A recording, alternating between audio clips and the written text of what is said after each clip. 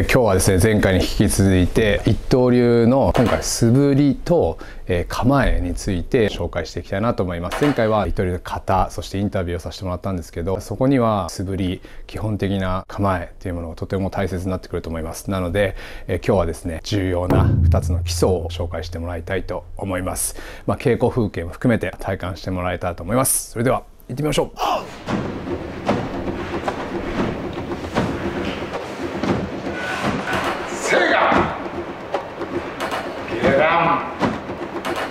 上陰の構え陽の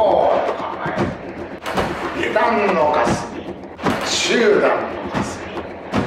中がす脇構え。本格以上。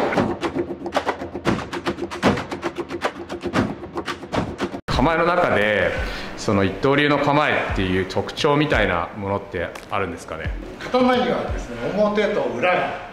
があって刃を当てるとですね刃がこぼれちゃうんですね、うん、で基本的にはこの表のしのぎ出っ張ってるところをしのぎなんですけどもで裏のしのぎを使うものですね。でそれが日本語でも残っていてしのぎ合いしのぎを削るっていう言葉が残っているぐらい、えー、このしのぎを使うものですねでこのしのぎを使えないと刃が当たってしまって刃がこぼれちゃうっていう刃こぼれをする。この表のしのぎを主にはこれが表。他のテニスとか、えー、卓球とかでいうフォアハンドですね。でこちらが裏。でしの裏のしのぎでバックハンド。親指がへその前にあってわずかにこのまっすぐに向かった時に相手の左目に向かうのが正眼の構えそうすると,、えーと、本来は刀は薄っぺらい薄いものなんですけれどもこの厚みが出せる。でこのしのぎで一つがちょ型がありましたがこの刀の表のしのぎが使えるように修行です逆に言うと、えー、この裏のしのぎを使う時は手の甲が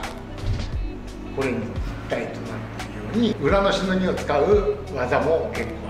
でも基本はやっぱりフォーハンドですから表のしのぎを使うことが多いですこの刀が使いやすいように柔らかく持って構えられているのがいいで西岸の構えが基本でこれが、えー、上段になる時は天に向かって西岸を構えている西岸を上げてるだけ肩に力が入るっていうのは良くないことっていうことなんですが動きがスムーズじゃなくなるってことです、えー、柔らかく落ち着いていて肩に力が入らないのがいい構えの仕方になります。緊張すると力が入りますのでこれが入らないようになるのが最終的には、えー、構えているのを忘れるようにならないといけない下段の構えっていうのは下に向かって少し剣線が下に降りていますけどもこれも同じように下に向かって構えてるだけ。西岸の構え先ほどやった中で陰の構えっていうのがあるんですが陰の構えというのはこの西岸の構えのまんま刀を上げて右斜め45度ぐらいに体が開いてるだけ。そういう意味で言うとここに向かって西岸構えてるのとあまり変わらないですね。で、えー、陽の画面も同じ。今度は逆に左側に持っていく少し左に向かってますけどもこれも西岸をここに構えてるのと同じぐらい、脇構えというのもありましたがこれは下段のに落としたものが体を横に脇に構えてるこれもだからここに向かって西岸を構えてるのと同じ体勢ですね。ということは西岸の構えを中心にあ発生していると他の構えはということですね。えー、それぞれの構えに心構えというかあるんですけどもまあでも形としては西岸が基本ですね小川先生から教わったのでいうと西岸の構えが何で西岸の構えで中心なのかというのは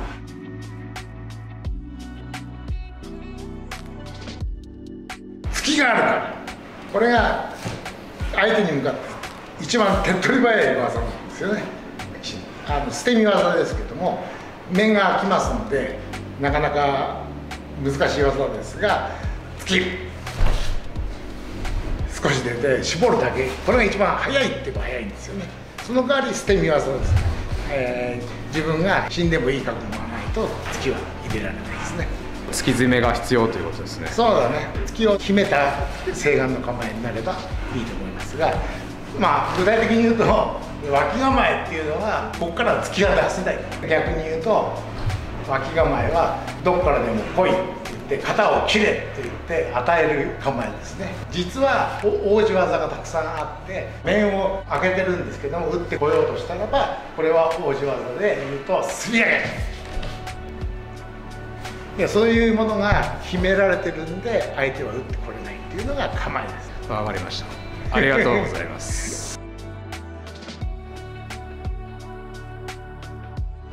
えー、今度はやっぱりその切り落とし1本目でもあったようにやっぱ素振り正面打ちっていうのはとても大切だと思うんですけども正面打ちのあレクチャーをしていただけたらと思います。まずはじゃあ一つ勝ち。正面打ちですね。正面打ちにもいろいろ刀の都合上ですね。いろんな切り方があります。まずは、えー、出刃という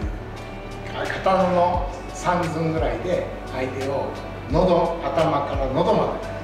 いう出刃という切り方があります。こういう感じですね。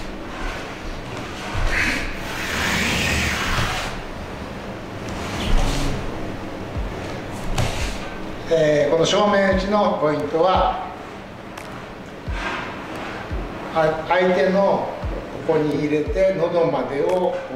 切るんですが刀の中に体があ後ろにあるように刀で切ってしかも自分の体を出さないという切り方が有利といえば有利なんでスッと刀の後ろに体が来るよ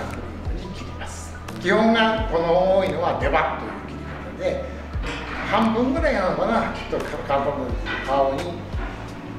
を切ってここに収まるのが出刃という切り方になります。もう一度やります。で最後に切り落としをして突きが入る。今度は入り刃という切り方があります。これはもっと深く入るんですけども頭の手面ですね。こういう感じです、えー、もう少し深く入って頭の脳天ですね。を切るのが入り刃という切り方になります。今あの市内で稽古をしている人たちの面というのは頭。この入り刃を使っているということになります。もう一度やります。ゴンと頭の上に落として頭ごと切る出刃とか入り刃とかっていう刀ならではの使い方がいろいろあります。